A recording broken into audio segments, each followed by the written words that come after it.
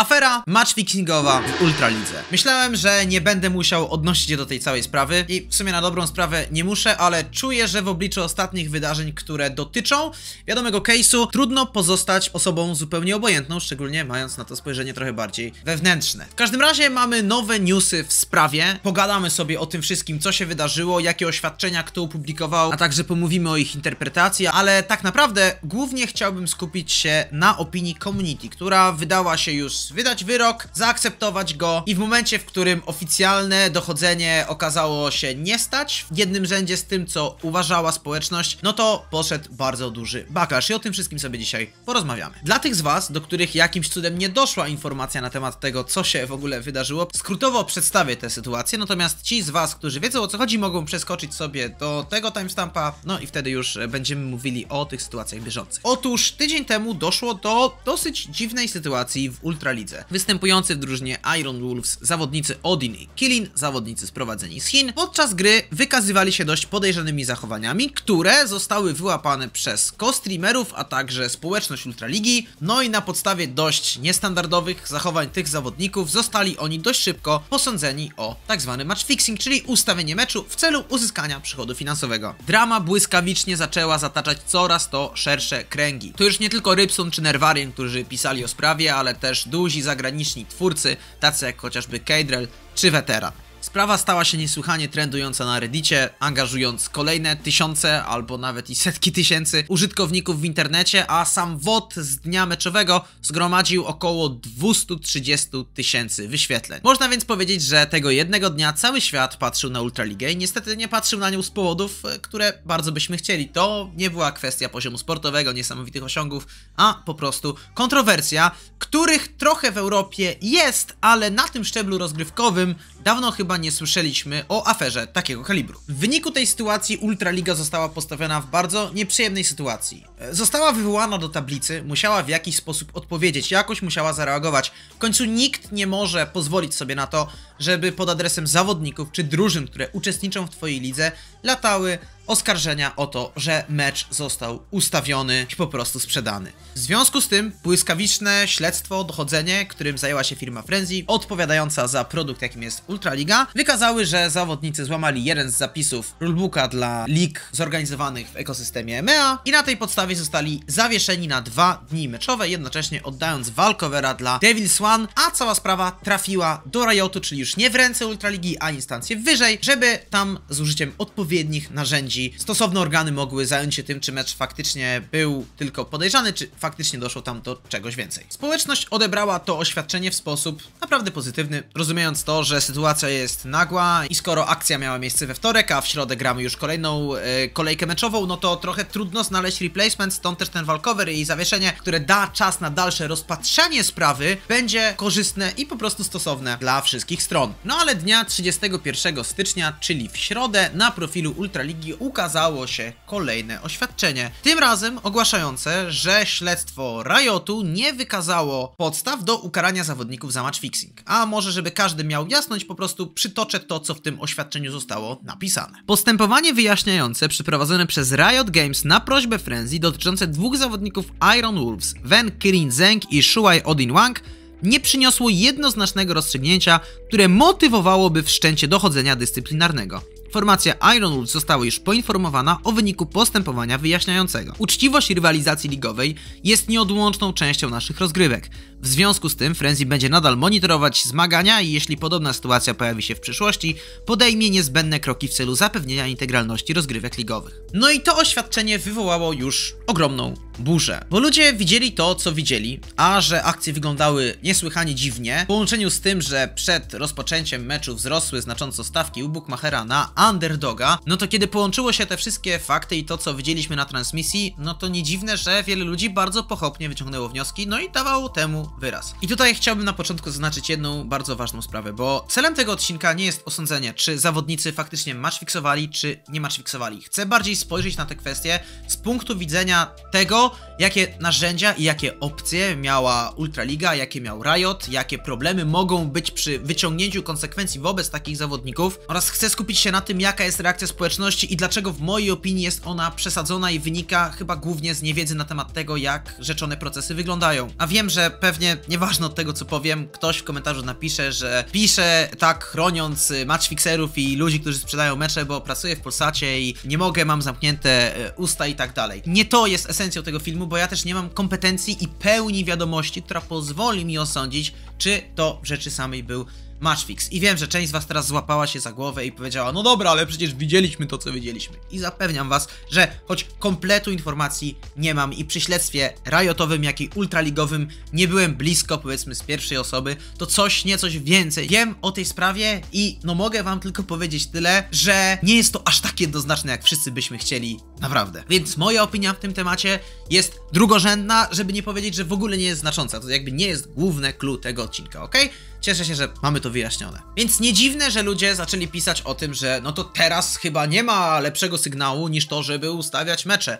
Albo że jak to w ogóle możliwe, czy wy w ogóle znacie się na grach wideo, czy oglądaliście mecz z włączonymi kamerami i tak dalej, i tak dalej, i tak dalej, i tak dalej. I wiecie, to są rzeczy, które no chyba było oczywiste, że się pokażą, tak? Że ta opinia będzie jednoznacznie negatywna. Natomiast warto tu bardzo rozróżnić, to ma jakie kompetencje i jakie decyzje podejmuje na konkretnym szczeblu przy konkretnym oświadczeniu.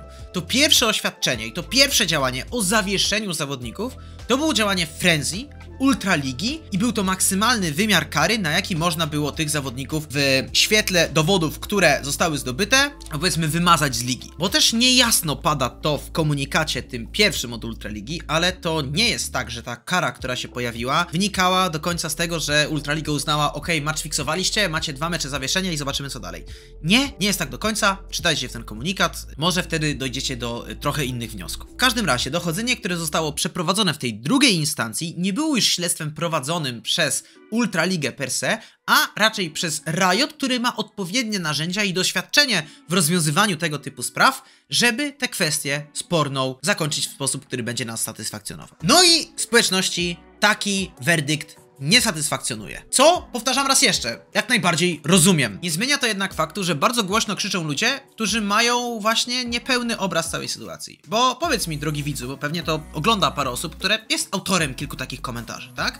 Powiedzcie mi, jakie wy dowody i do jakich rzeczy wy dotarliście, do jakich mieliście dostęp, poza zapisem z transmisji tego meczu i opiniami streamerów, analiz i tak dalej. Czy mieliście dostęp do komunikacji? Czy odbyliście rozmowy z tymi zawodnikami? Jakby, wiecie, szereg działań, które w zaistniałej sytuacji podjęła Ultraliga i ten wywiad środowiskowy, który błyskawicznie został przeprowadzony, dostarcza pewne inne istotne konteksty, które mogą w pewien sposób zmienić patrzenie na tę sprawę. I wiecie, społeczność sędziów Ultraligi zawsze była mocno e, szanowana, tak? Myślę, że dużo z was kojarzy Krazasa, który od lat pracuje przy Ultralidze, no skoro też zajmował się tą sprawą, no to skoro nagle go szanujemy, a nagle potem wyzywamy, no to bądźmy w tym konsekwentni, albo mamy go za osobę, która wie, e, czym się zajmuje od długiego czasu, albo uważajmy go za fraudstera, no i wtedy w ogóle mu nie ufajmy, tak? No ja uważam, że Krasas dobrze zna się na swojej robocie. To nie było tak, że ktoś indywidualnie podjął taką, a nie inną decyzję. To był szereg osób, szereg konsultacji, szereg wyciągniętych wniosków, mnóstwo dyskusji, które zakładam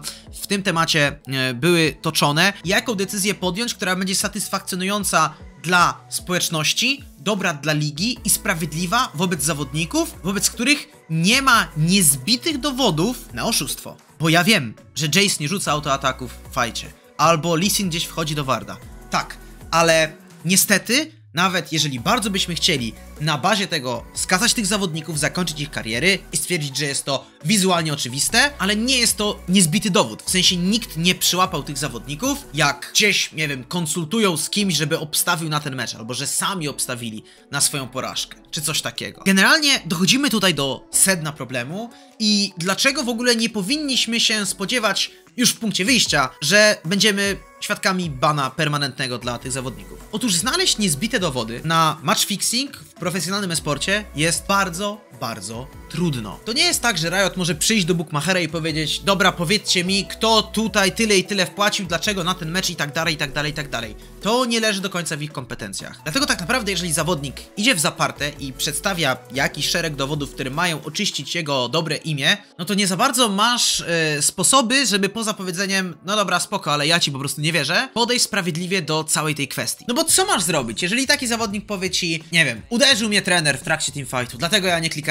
Wiecie, realia są takie, że bardzo trudno będzie pozyskać jakiś dowód, który nie będzie słowem przeciwko słowu. Dajmy na to, zawodnik powiedziałby: Dobra, ja tak grałem, bo byłem pijany, na przykład, nie? Czy jesteś w stanie wykonać badanie toksykologiczne? Czy jesteś w stanie, szczególnie w tak krótkim czasie, czy jesteś w stanie zbadać danego zawodnika alkomatem? Wiecie, podaję tutaj tylko jeden przykład, ale chodzi mi o to, że w momencie, w którym rozmawiamy o ekosystemie lig regionalnych, gdzie zawodnicy grają splity online ze swoich domów, nie zawsze na bootcampie, choć w tym przypadku zawodnicy akurat przybywali w jednym miejscu. Mimo to bardzo ciężko jest zdobyć potrzebne dowody, żeby udowodnić komuś winę. No bo wiecie, kiedy Riot już się zajął całą sprawą, no to na dobrą sprawę chyba toksykologia nawet nic by nie dała, tak? Gdyby ich linią obrony było to, że grali pod wpływem alkoholu, powiedzmy, nie? Albo coś innego. Tutaj tysiąc rzeczy różnych można przywołać, więc na dobrą sprawę mamy tylko słowo przeciwko słowu i jedyna opcja, żeby takiego zawodnika, powiedzmy, przyłapać, to jakoś dotrzeć do tego, że on faktycznie obstawił na swój własny mecz u Bookmachera, poprzez, nie wiem, jakiegoś słupa, lub alternatywnie zawodnik sam się przyzna do swojej własnej winy i match fiksowania. Ale tak jak mówię, musicie zdać sobie sprawę z tego, że bardzo trudno jest o te niezbite dowody, a nie jedynie poszlaki, nieważne jak wyraźne by dla naszego oka widza by one nie były. I zastanawiam się, co by ludzie, którzy piszą, czy, czy mówią, czy wypowiadają się o tym, że no ja bym to zbanował od razu, jaką inną motywację, poza tym, że ja widziałem, że to jest match fixing, a jestem graczem od x lat i wiem, y, co jest 5, na jakiej innej podstawie podejmujesz te decyzje? No przyznajcie sami, że oparcie się jedynie na tym, że ja tak czuję, to nie jest najlepsza linia do ataku, prawda? No powiedzmy sobie szczerze, w sądzie by to raczej nie przeszło. Ja wiem, że dla wielu z was to brzmi pewnie głupio, ale niestety no to, co widzieliśmy w meczu, to nie są wystarczające dowody na to, żeby stwierdzić, czy gra była zmatchfixowana, nawet jeżeli wydają się być tak oczywiste, jak w rzeczonym spotkaniu. I były osoby, które pisały o tym, że prawdopodobnie Riot nic z tym nie zrobi, nie będzie w stanie dojść do tego, żeby tych zawodników zbanować, o tym pisał Lewus, o tym pisał Flash, więc jakby tutaj ja, ja podzielam ich zdanie w tym temacie. I na koniec filmu powiem tylko jedną rzecz, że tak naprawdę nawet jeżeli tego bana nie ma i jakby faktycznie ci zawodnicy nie zostali wyrzuceni poza ekosystem, prawda jest taka, że tym, co się wydarzyło, te kariery są przekreślone. Podstawowy scouting tych zawodników w przypadku próby zdobycia ich kolejnej drużyny, no zakończy się tym, że ludzie im po prostu podziękują, bo nie będą chcieli wejść we współpracę z graczami,